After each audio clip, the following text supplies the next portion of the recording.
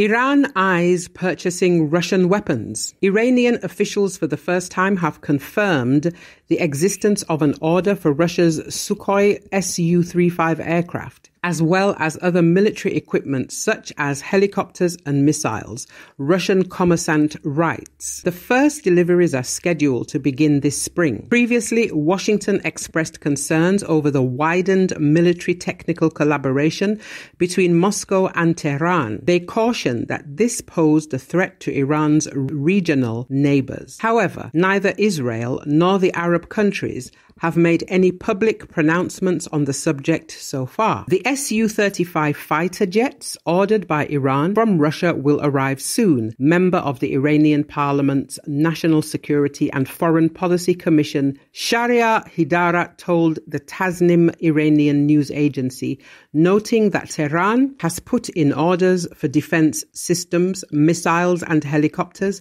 and the majority of these weapons will be delivered soon. U.S. National Security Council Coordinator for Strategic Communications, John Kirby, noted that Washington was concerned about possible arms supplies from Russia. There were no comments from the Arab world, and Israel was already concerned about Iran's growing nuclear potential and its participation in the arms race. At the same time, some local experts fear that Israel may be too careless about Iran Russia military cooperation. Military experts believe that the supply of Russia's Su 35 jets to Iran would not seriously upset the regional balance of power. The acquisition of Su 35s in the currently estimated quantities will only allow Tehran to rectify the situation somewhat, but the overall balance of power in the region will not change dramatically. Iran's main means of deterrence and attack power will continue to be missiles and drones. Yuri Lyamin, an expert on Iranian weapons, told.